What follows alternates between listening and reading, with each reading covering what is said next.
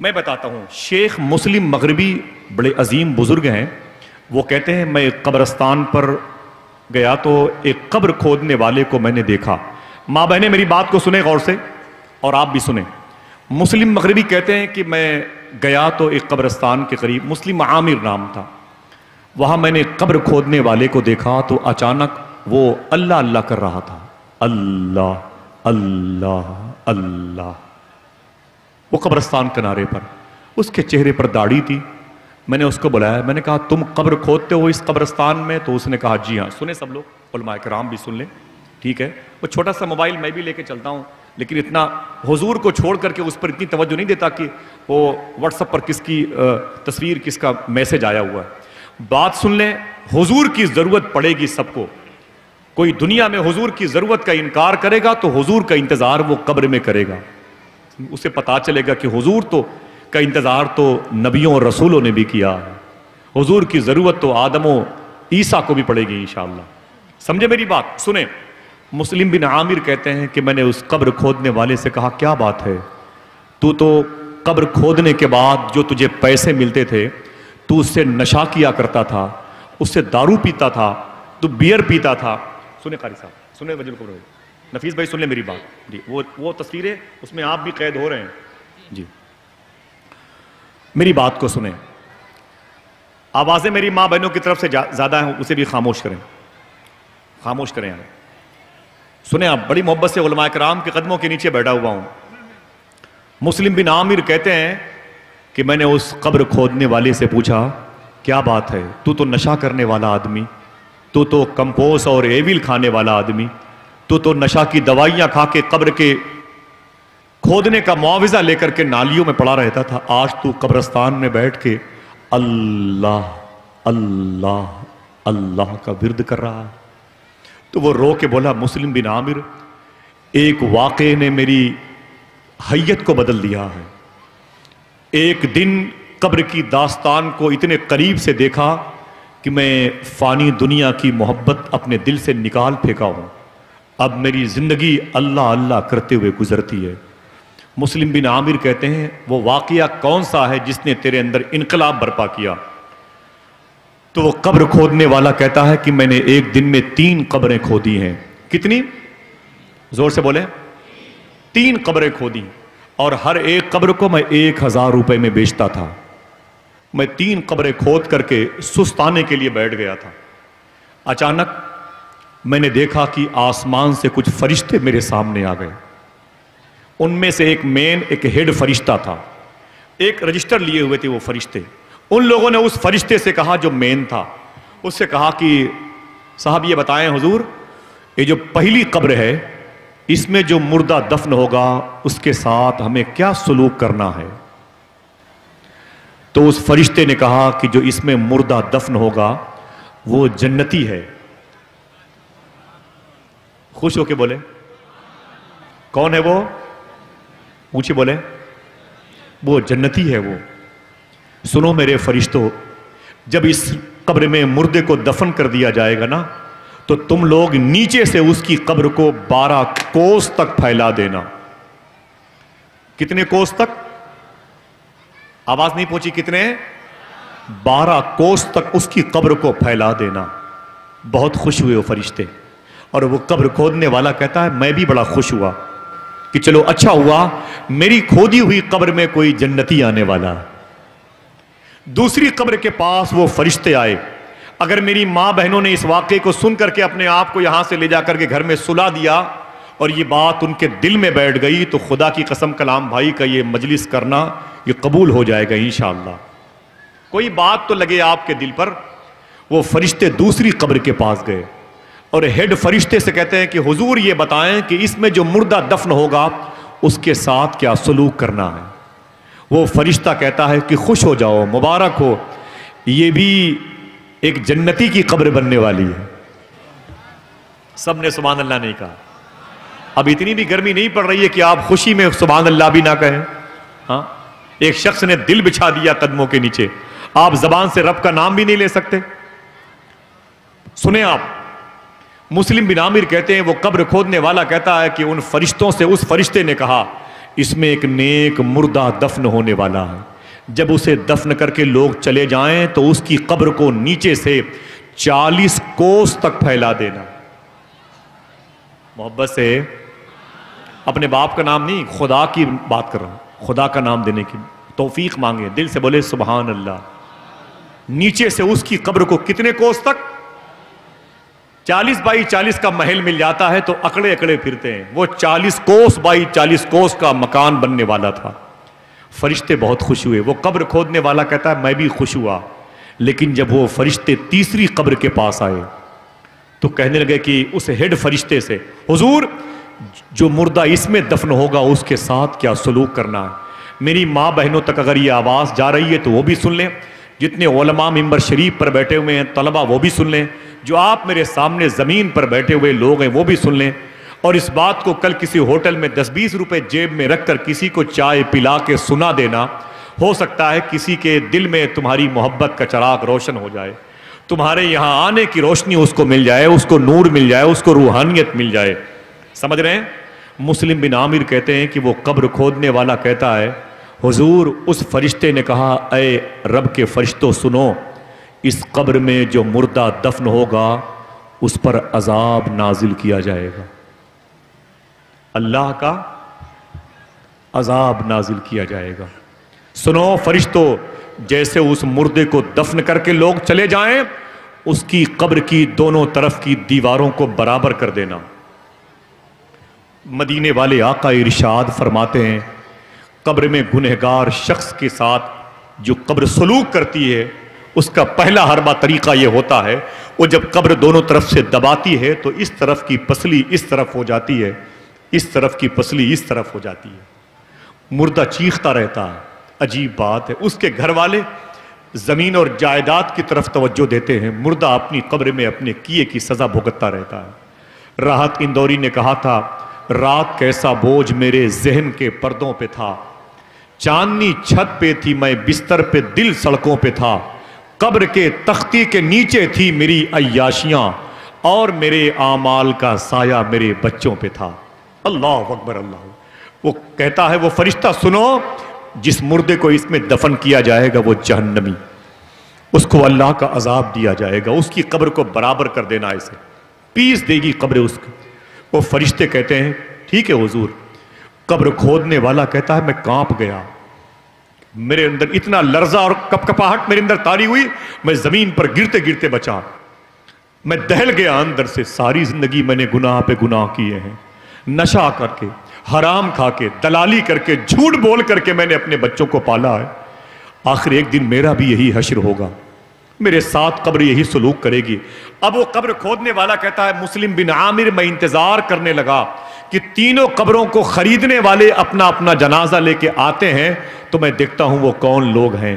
तो वो कब्र खोदने वाला कहता है, थोड़ी देर के बाद एक जनाजा आया, जिसको सात लोग लेके आ रहे थे। कितने?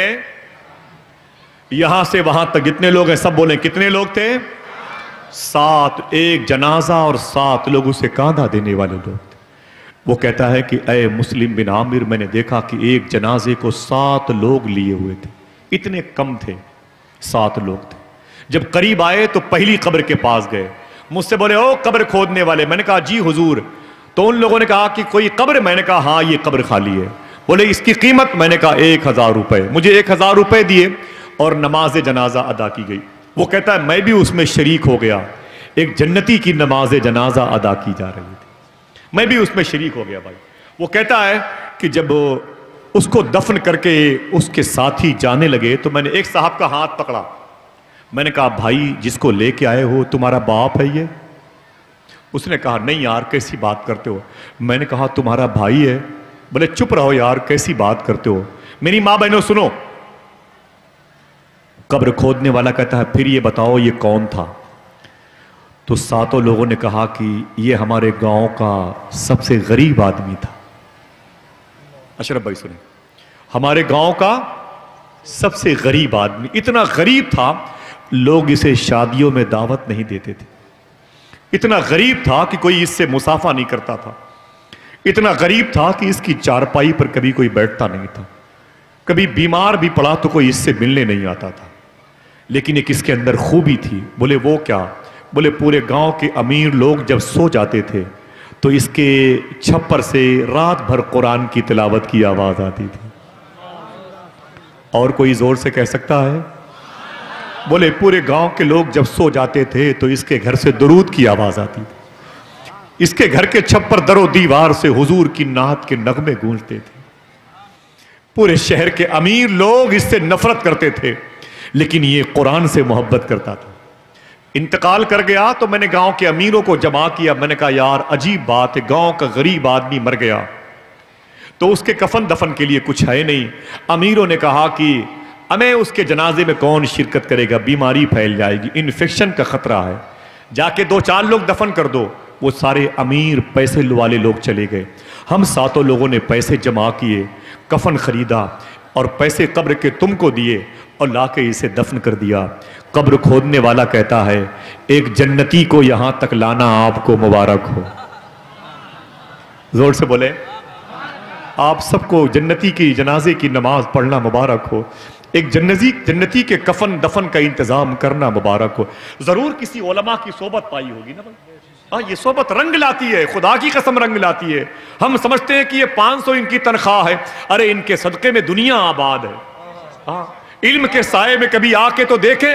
मुझ जैसा कुत्तों से बदतर इंसान जब रात भर इनकी जूतियों के साय में रहता है तो दुनिया अपने सर पे बिठा लेती है। तो जिसके साय में रहता हूँ, उसके मरातिब का अंदाज़ा कोई कर सकता है? मुझे बताएँ। है कि नहीं? वो कहता है अरे मुस्लिम बिन आमिर, मैं इंतज़ार कर रहा था कि देखें दूसरा जनाजा कौन होता है। थोड़ी देर के बाद एक जनाजा और आया। उसको कुल चार लोग उठाए हुए थे। कितने लोग? कितने लोग? हाथों को उठा के बताए कितने? ये रिकॉर्ड हो रहा है। तोकीर भाई, नफीस भाई, ये सब रिकॉर्ड हो रहा है। जलसा खत्म हो जाएगा, लेकिन मैं ये समझता हूँ कि जब तक ये सिस्टम बाकी रहेगा इलेक्ट्रॉनिक मीडिया का, ये शहबाजिया चैनल से मेरे भाई बैठे हुए इनके चैनल से पूरी दुनिया देखेगी, पूरी दुनिया देखेगी। यकीन करें आप। तो कहता है, मुस्लिम बिन आमिर, में बैठा हुआ था तो एक जनाजा लेके कितने आए लोग आए? चार लोग आए। मैं दंग रह गया। मेरे पास आए, बोले, ओ, कब्र खोदने वाले। मैंने कहा, क्या बात है? बोले कि, वो, कोई कब्र खाली है? तो मैंने कहा, ये ये दूसरी कब्र खाली है। बोले, पैसे? मैंने कहा, एक हज़ार रुपए, पैसे दिए। नमाज़ जनाजा पढ़ने की नौबत आई तो वो कहता है मैं भी शरीक हो गया। सुबह अल्लाह दफन करने के बाद जब लोग जाने लगे तो मैंने एक का हाथ पकड़ा। मैंने कहा, भाई, ठहरना। बोले, क्या बात है? मैंने कहा, ये तुम्हारे खानदान का जनाजा था जिसको लेके आए हो। उसने कहा, यार, चुप रहना। मैंने कहा, फिर बता तो सही, किसका जनाजा था? तो उन चारों लोगों ने रो करके कहा, न तो मेरे खानदान का था, न मेरा भाई था, न मेरा बाप था, न मेरे मोहल्ले का था, न मेरी पट्टी का था, न मेरे गाँव का था। मैंने कहा, फिर ये कौन है? कहने लगा, ये मुसाफिर का जनाजा है। इसके पास तो घर भी नहीं था। मैंने कहा, फिर बोले, तीन दिन से मेरे मोहल्ले के, मेरे कस्बे के करीब से गुजर रहा था और तीन दिन से मेरे मोहल्ले के करीब में छप्पड़, वो खेमा नसब करके तंबू का नात लगा के उसी में रह रहा था। ये मुसाफिर कहीं जा रहा था। लेकिन जब से आया है, इसके खेमे से अजान की आवाज़ बराबर आती थी। मोहब्बत से कह दो सुबह अल्लाह कहता, ये ये गरीब था, मुसाफिर था, लेकिन अजान देता, नमाज़ पढ़ता। अचानक बीमार हुआ और इंतकाल कर गया। पूरे गाँव के लोगों को जमा किया गया। मैंने कहा, यार, ये गरीब मुसाफिर का इंतकाल हो गया एक गरीब मुसाफिर का इंतकाल हो गया है और चलो उसकी मिट्टी में। तो गाँव के पैसे वालों ने कहा, उसके पैर में रस्सी बाँध करके दरिया में डाल दो यार। मैंने कहा, क्यों? बोले, यार, गरीबों के जनाजे में कौन जाएगा? शायर ने कहा, था, गरीब था तो बहुत कम थे लोग मैयत में। एक शेर पढ़ता हूँ। गरीब था तो बहुत कम थे लोग मैयत में। अमीर होता तो कांधा लगाना मुश्किल था। गरीब था तो बहुत कम थे लोग मैयत में। अमीर होता तो कांधा लगाना मुश्किल था। अल्लाह अकबर। वो कहता है कि गाँव के सबसे करीब गुजरने वाले मुसाफिर का जनाजा है, लेकिन जब से मेरे मोहल्ले में खेमा नसब करके ठहरा है पाँचों वक्त अपने खेमे में अजान देता है, नमाजें पढ़ता है। इंतकाल कर गया तो चार लोगों ने कफन दफन के लिए पैसे जमा किए और कब्र खरीदी है, उसे ला के दफन कर दिया है। उस कब्र खोदने वाले ने कहा, एक जन्नती को दफन करने के लिए इंतज़ाम करना आप चारों को बहुत बहुत मुबारक हो। एक मतलब फिर से कह दें, अल्लाह इस सुबहान अल्लाह कहने का सवाब, सिकंदरपुर के करीब में जो कब्रस्तान के मुर्दे हैं, अल्लाह उनकी रूह को पहुँचा दे। सुनो मेरी बहनों, सुनो, और कोई इंस्टीट्यूट नहीं है, ले दे के मजलिस रसूल है। और कोई तुम्हें बताने वाला नहीं है कि हुजूर की मजलिस के आदाब क्या है। और कोई तुम्हें बताने वाला ज़मीन पर नहीं है। यही ओलमा है, वरना मोबाइल तो हमारे हाथ में एक एक लाख रुपए के हैं। लेकिन हम वहाँ जाते ही नहीं, जहाँ हुजूर की सीरत और सूरत मौजूद है। हम तो नाच गाने की महफिलों तक रह जाते हैं। कुरान घर में है, पढ़ने की खबर नहीं है अखबार हमें याद करना चाहते हैं। एक जलसा बचा है, एक मजलिस बची है, मिलाद की महफिल सजी है। सुन लो हजूर और हजूर के गुलामों की दास्तान, ताकि आपका दिल कहे, जब उनके गदा भर देते हैं। शाहाने जमाना की झोली, मोहताज का जब ये आलम है, मुख्तार का आलम क्या होगा? कितने जनाजे हुए? अब कितने कब्र बाकी है? एक अब एक जनाजा बाकी है, वो कब्र खोदने वाला कहता है, मुस्लिम बिन आमिर, अब एक जनाजा कब्रस्तान में आया, हंगामा मच गया। जिस जनाजे के आने से उसकी काया पलटी है, वो सुन ले। सुनो मेरी माँ, मेरी बहनों, सुनो। वो कहता है अय मुस्लिम बिन आमिर, अब एक जनाजा कब्रस्तान में आया। हज़ारों हज़ारों लोग थे उसके जनाजे में। वो बड़े बड़े हवलदार से लेकर के होम गार्ड और पुलिस वाले, आर्मी वाले, मिलिट्री वाले और सीओ और कोतवाल और एसडीएम और DM, IG, DIG, IAS, IPS, बड़े बड़े लोग उसके जनाजे में शिरकत कर रहे थे। वो सियासी कायदीन की बड़ी जमात थी। पूरे कब्रस्तान में लोग ही लोग थे। आदमी पे आदमी चढ़ा हुआ था। और उस जनाजा जिसको लेके आ रहे थे लोग, उस पर तो फूल इतने लाद दिए गए थे, उसके जनाजे का वज़न बढ़ गया था। हर तरफ़ हंगामा ही हंगामा था। इतनी भीड़ थी। मेरे पास आए लोग बोले, ओ, कब्र खोदने वाले। मैंने कहा, जी साहब। बोले, कोई कब्र खाली है? मैंने कहा, एक कब्र खाली है। बोले, पैसे? मैंने कहा, एक हज़ार रुपए। उन्होंने जेब से पैसे निकाले, मेरे मुँह पे मारे। बोले, पकड़ पैसे, साइड में हट। इस कब्र में इसको दफन किया जाएगा। कब्र खोदने वाला कहता है, मैं चुपचाप बैठा तमाशा देखता रहा। बारी बारी घंटों हो गए, उसको दफन करने में, घंटों लग गए, उसको दफन करने में मिट्टी कम पड़ गई। बाहर से लोग मिट्टी ला ला करके कब्र की ऊंचाई का इंतज़ाम करने लगे। मेरी माँ बहनों, सुनो, शायद तुम्हारे दिल की तब्दीली का सबब बन जाए। सुनो, वो कहता है, मुस्लिम बिन आमिर, जब उसे दफन किया गया, घंटों लग गए। जब सब लोग चले गए, एक बचा तो मैंने उसका हाथ पकड़ा।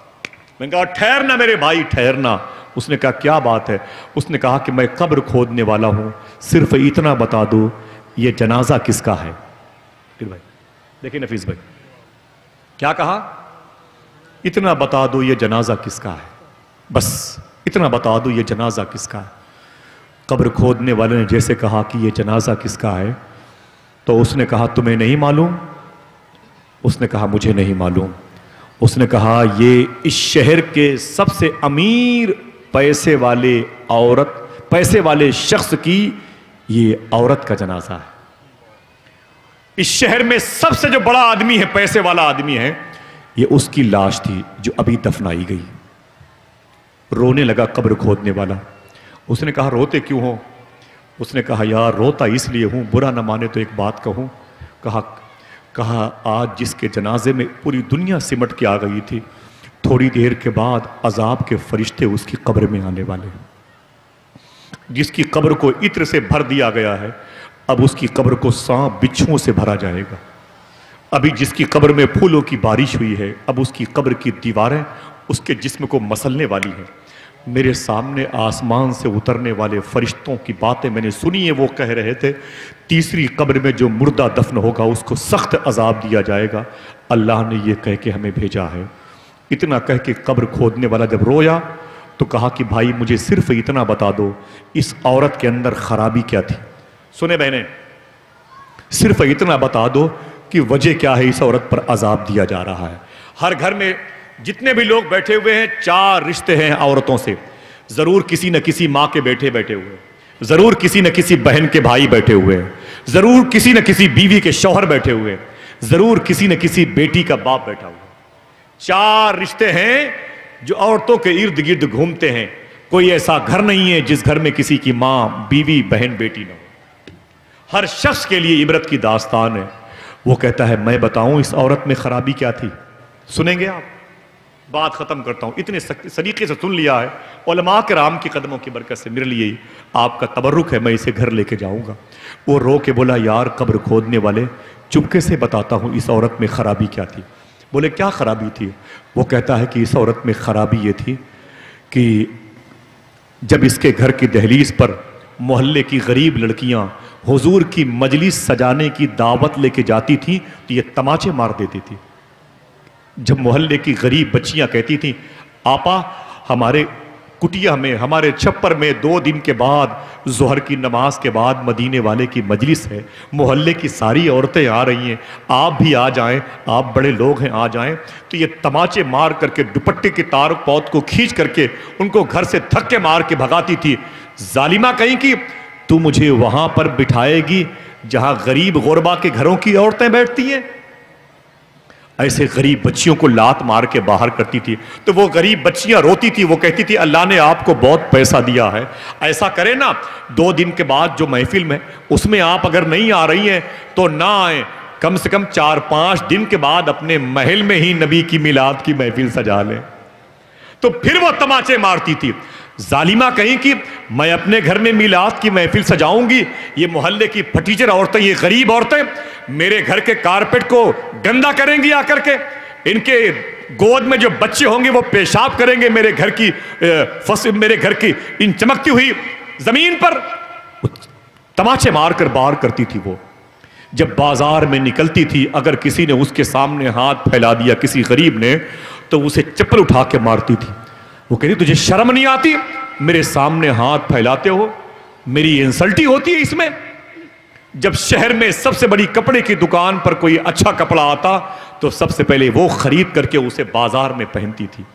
जब सबसे कीमती चप्पलें आती, महँगी आती, उसे खरीद करके बाज़ार में गरीब औरतों के सामने अपनी चप्पल की चमक दमक दिखाती थी और कहती थी अय गरीब औरतों, तुम्हारे चेहरे से ज़्यादा मेरी चप्पलें चमक रही हैं। इतनी नफरत उसके दिल में गरीबों से थी। मैं क्या बताऊँ? उसने कभी हुजूर पर दरूद नहीं पढ़ा। अजान की आवाज़ सुन के कहा करती थी, मैं मुसलमान ज़रूर हूँ, लेकिन मुअज्जिन से कह दो कि अपनी आवाज़ को पस्त कर दिया करे। मेरे आराम में खलल पड़ता है। आज ये आलम है कि अपनी कब्र में है। कब्र खोदने वाला इतना रोया कि उसकी चीख निकल गई। उसने कहा, यार, रोते क्यों हो? कहा, इस कब्र पर अजाब हो रहा है। अजाब हो रहा है, अजाब हो रहा है। अजाब की चीख पुकार की आवाज़ सुना तो कब्र खोदने वाला बेहोश हो गया। जब उसे होश आया तो तोबा करते हुए मस्जिद चला गया। मुस्लिम बिन आमिर के दामन से पकड़ के लिपट के बोला, हुजूर, जिस दिन से उस औरत की चीख की आवाज़ सुनी है, अब तक मेरी कोई एक वक्त की नमाज़ कज़ा नहीं हुई है। समझ गए मेरी बात? तो कहने का मतलब है कि हुजूर की मजलिस में आने से दिल की दुनिया बदलती है। एतकाद की जुल्फें समरती हैं, आमाल के बाजुओं को रब मज़बूत करता है।